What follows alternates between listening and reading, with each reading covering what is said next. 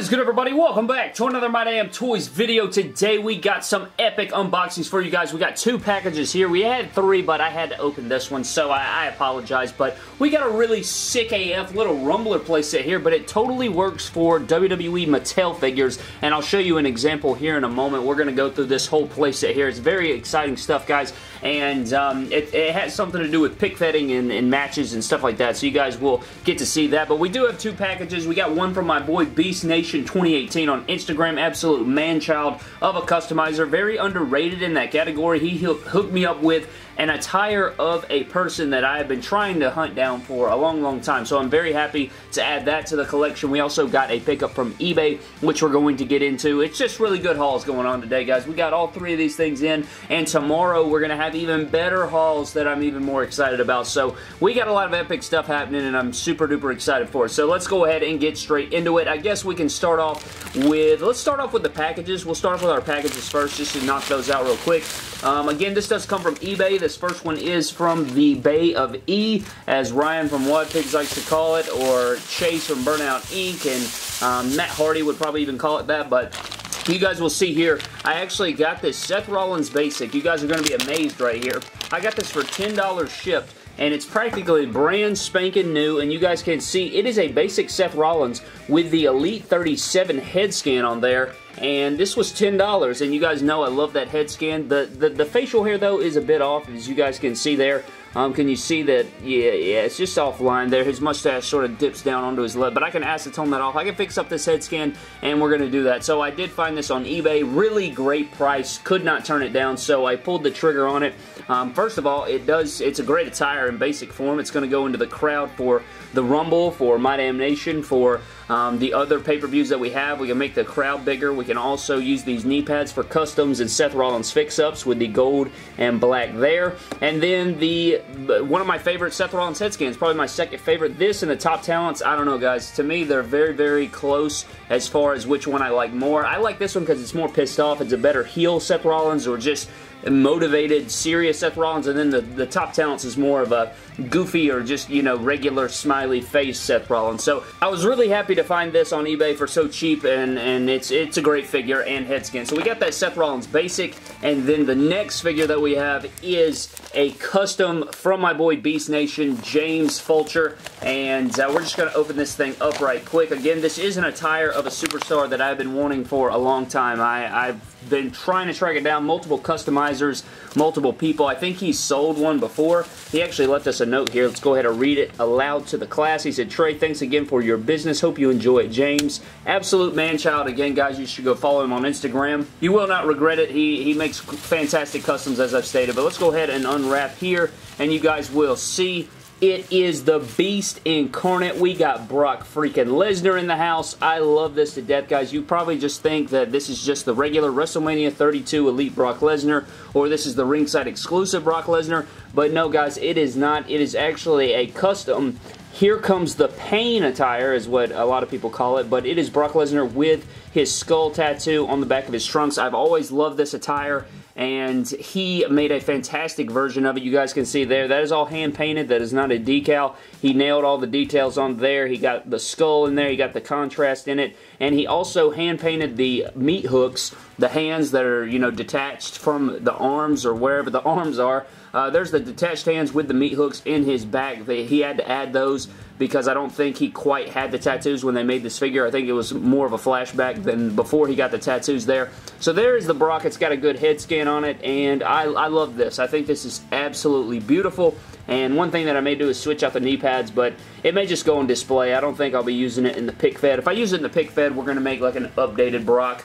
Um, and I think I've showed you guys that before maybe, but anyways, that is the custom figure. The Beast Incarnate who will defend the Universal Championship, so we it's kind of cool. We have like a flashback of the WrestleMania 35 matchup right here. Universal Championship. Who you guys got? You got the Beast Incarnate retaining, or do you think Seth freaking Rollins, my man, is going to go in there, burn it down, and capture the Universal Championship? Let me know down in the comments section below who you think is going to walk out. I think, honestly, I mean, with the Shield returning and Roman Reigns returning and everything, I think that Seth Rollins is going to get it done. I, I, had sort of some issues with it going forward because I thought that, you know, they're, they're going to keep the title on Brock, but I think the Shield's going to get it done. I just don't know where the Shield goes after that, so it's kind of confusing. But there's our two packages. Wanted to make sure we get those out of the way. Now we can go dive into our Scaffold Bash playset or Scaffold Smash playset by WWE Rumblers. And I don't know if you guys have ever owned these. It's called Rumblers Rampage. It comes with two figures. We have two figures here, and this is not why I got it. I did not get these because it comes with Kofi Kingston, and I don't play with the Rumblers and all this stuff. This is just what it came with, but here you go. Kofi's got like a little jumping action here, and that's pretty cool. It's got some nice detail. This will go in my little figure collection. I have some smaller figures. I don't collect them, but when I get them, I just sort of throw them together. So I have a small little collection of them. And then The Miz is, I think he has like a trunk twist. Yeah, so he can do like a little hip attack or an elbow there. So that's pretty cool. I mean, you got the figures there. I, I didn't get them for this. Like I said, I got it for this piece over here, which we're going to get into. And this is another huge shout out to my boy Prime Wrestling on Instagram. You guys, if you watched our how to make barbed wire video that I posted a few days ago, then you guys will know that uh, I posted how to make barbed wire for your WWE action figures, and I talked about Prime Wrestling's pic fed, and in his pic fed, in his Battle of the Deathmatch or King of the Deathmatch videos, he actually had this scaffold playset that I noticed, and uh, I asked him where he got it. He said it was an old Rumblers playset. I tracked it down on eBay and I found it. And I think this thing is freaking sweet. I may add it to one of my sets, to one of my WWE, you know, pay-per-view sets for the pic fed for MDT Live and all that good jazz. I may add it to the Royal Rumble set. I'm not sure exactly. I want to pick up two of them because, you know, you could have one on one side, one on the other. Really cool stuff. I mean, it's pretty in scale. You guys can see. I mean, it's not, you know, perfect by any means, but uh, you can, you know, get up here. You could jump off of there. It's pretty high up, if you guys can see. It's about roughly the size of two Mattel action figures, and you can, um, maybe I can plug a clip from his pic fed real quick and you guys can see that uh, Luke Harper is fighting Brian Pillman I think in like the semifinals of that battle of the or King of the Deathmatch tournament which I highly recommend you go and watch on uh, Prime's wrestling YouTube channel. But you guys will see that he literally Luke Harper and Brian Pillman on top of that thing, and uh, Luke Harper choke slams Brian Pillman straight off the scaffolding, and I just was so inspired by that. I was like, man, that would be really cool to add to my Extreme Championship division um, especially going into the Royal Rumble with the death match and everything. It's going to be insane to see what we got because I have a lot of exciting ideas and stuff, and Prime just really inspired me to get going um, in that Extreme division. So it does come with this. Again, it, it does break away. I know that he didn't break anybody through it, but you could break somebody through it. Let's see if we can get Seth Rollins to go through here. So see, he can fall through. I don't know if they can go all the they can go all the way through, and it actually collapses the whole thing. So that's freaking epic, man. And then they stack on top of each other. If you just wanted one, you can actually just stack one up. Let me go ahead and lower this, and you can create like a mini table which is really sick too. So this is a really cool playset, guys. If you guys are interested, uh, I think there are a few on eBay. But you know, you just clip this together here, and now you have like a miniature table. You know, maybe you can get a WLC match going between Hornswoggle and El Torito. But you see, it's sort of a smaller table if it were, maybe you could use it as a coffee. Oh my god, Seth Rollins almost put himself through it. Maybe you could add it to a diorama or, you know, an office office backstage. You could probably make it a office desk, actually. Let's go ahead and see if I can make this L-shaped desk.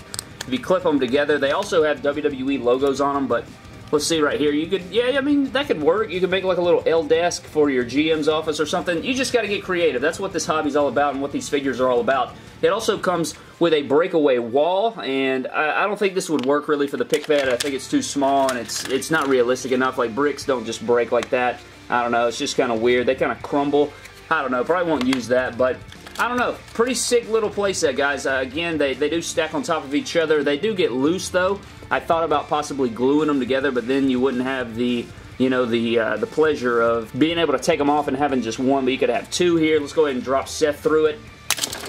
So yeah, it's, it's pretty freaking sweet, man. I, I, like it a lot. I thought you guys would enjoy it, and if you guys are interested, go look it up. I think just just look up Rumbler Scaffold on eBay, or look up, uh, I don't know, there's a bunch of different things that you can look up, but this playset is freaking sweet, nasty farticles, as you guys can see, and uh, we got some epic hauls in here today. We got the cool scaffolding playset. Again, really looking forward to possibly buying another one to uh, have two on each side, or one on each side of the of the stage there. I don't know. I'm just, my head swirling with ideas, and it, a lot of it goes out to Prime because it, watching his King of the Death match and watching his pic fed just really inspired me. So I want to give a huge shout out to him. You guys can follow him on Instagram and check out his channel as well as James Fulcher or Beast Nation who made this epic Brock Lesnar custom figure that we got here today in our video. And uh, tomorrow's video, we have even more hauls. I don't know if it'll be a haul video or if it'll be uh, other things. But we have really sweet hauls coming tomorrow from one of my good friends in the community, so I'm really excited about that one as well. But thank you guys so very much for watching. I think that's going to do it for today's video.